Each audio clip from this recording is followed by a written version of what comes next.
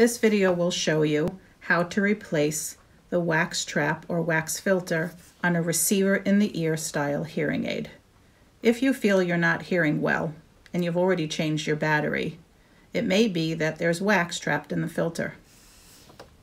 Your ear mold may be styled differently from this particular model, but regardless of the style mold, you will need to remove the mold from the wire if you cannot reach the end.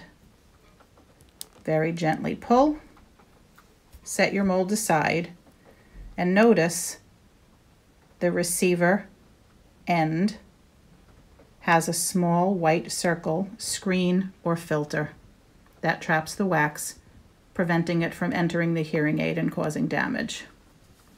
Depending upon the model hearing aid you wear, you may have replacement filters that look like this.